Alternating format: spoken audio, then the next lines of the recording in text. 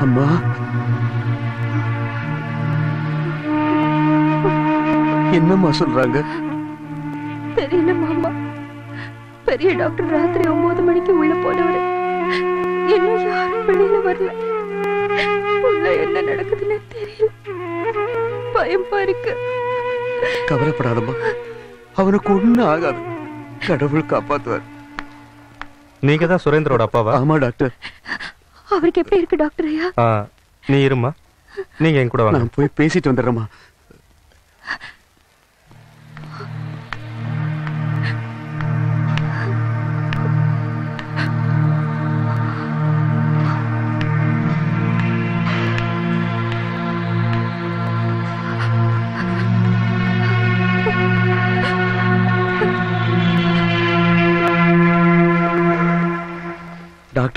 அடி ரொம்ப பலமா பட்டிருக்கு. உயிர் இருக்கு. ஆனா எவ்வளவு நேரமோ எவ்வளவு நாளோன்னு சொல்ல முடியாது. முக்கியமான ஆபரேஷன். உடனே செஞ்சா பிழைக்கிறதுக்கு சான்சஸ் இருக்கு. எவ்வளவு செலவாகும் டாக்டர் ஐயா? ஏழு எட்டு லட்சம் வரைக்கும் செலவாகும். நாளை காலையில நீங்க பணம் கட்டிட்டா சாயங்காலம் ஆபரேஷன் பண்ணிடலாம். நாளைக்குள்ள கட்ட முடியலடா.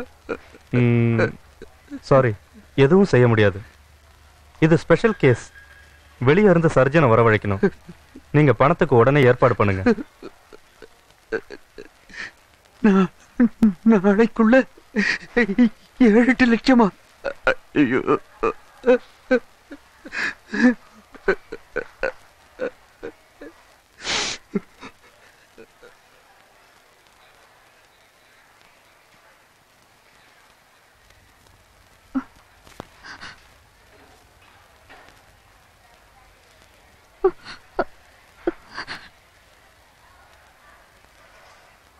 மாமா. கவலைப்படாதம்மா. ஏதோ ஆபரேஷன் செய்யணுமா? செய்ய சொல்லுங்க மாமா. உடனே செய்ய சொல்லுங்க. அதுக்கு கொஞ்சம் ஜாஸ்தி செலவாகுமா? பரவாயில்ல மாமா. என்கிட்ட ஒரு ஏழு எட்டாயிரம் இருக்கு.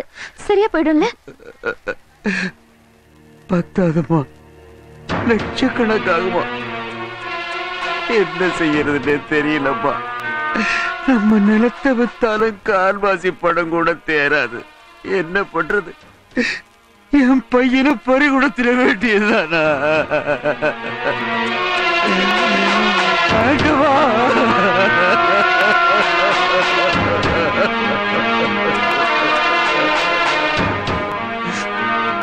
அம்மா சாவித்ரி நான் இங்க இருந்தா எதுவும் நடக்காது.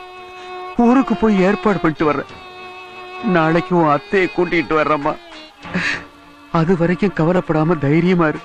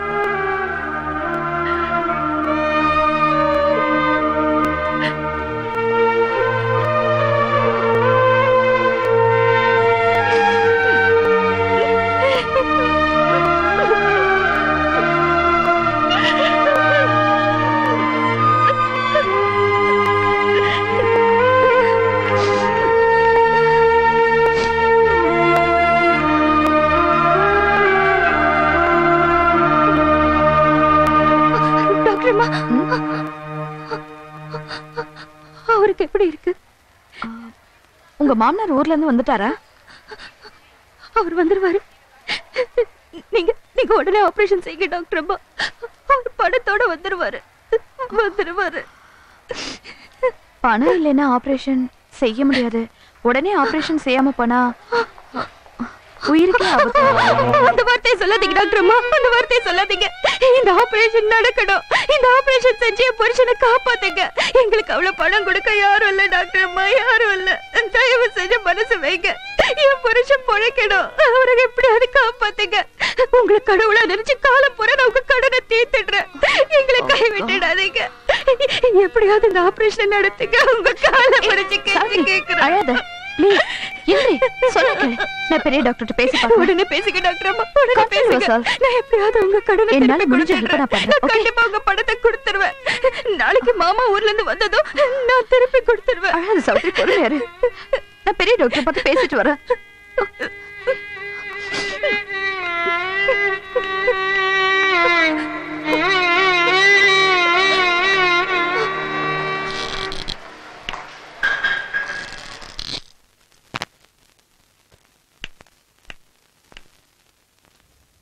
டாக்டர்?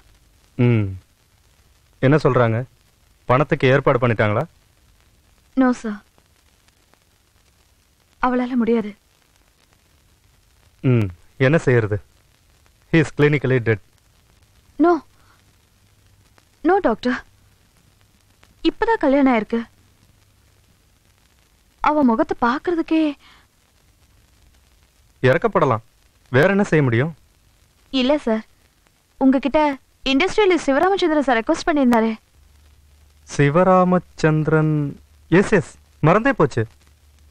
இந்த பொண்ணை கேட்டு பார்க்கலாமா sir of course it is an idea but ஒத்துக்குவான்னு நினைக்கிறியா? பேசி பார்க்கறேன். அதுக்கப்புறம் அவ இஷ்டம். அவளுக்கு தானே இது நல்லது? Okay go head but quick okay ம். உட்காரு சாவித்ரி. பரவாயில்ல டாக்டர்மா பரவாயில்ல உட்காருன்னு சொல்றேல்ல.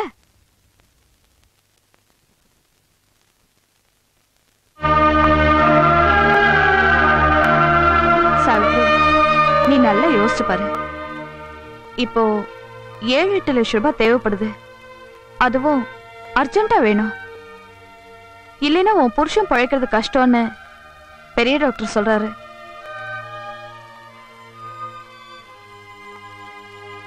உன் பிரச்சனை தேடணும்னா அதுக்கு ஒரே ஒரு வழிதான் இருக்கு. சொல்லுங்கம்மா அவரை காப்பாத்துறதுக்காக நான் என்ன வேணாலும் செய்யறேன் என் உயிரை கொடுக்க கூட நான் தயாரா இருக்கேன். சொல்லுங்க டாக்டர்மா அதெல்லாம் வேண்டாம். நீ கர்ப்பமாகணும்.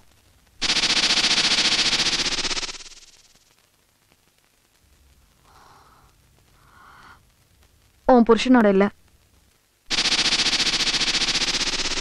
என்ன எனக்கு தெரிஞ்ச ஒருத்தருக்கு குழந்தை வேணும்.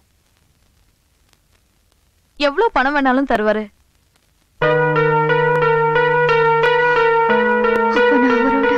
இல்ல சாவித்ரி அவர் உன் கண்ணு முன்னாடியே வரமாட்டாரு.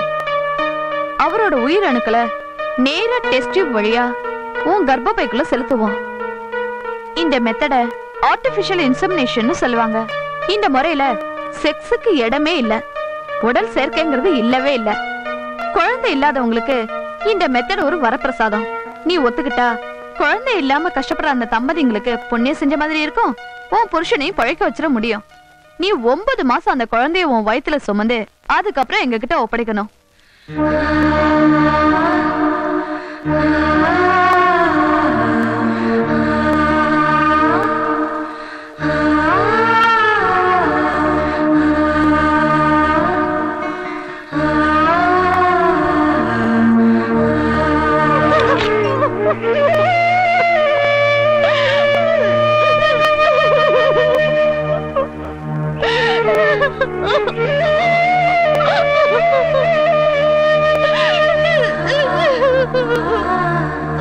Oh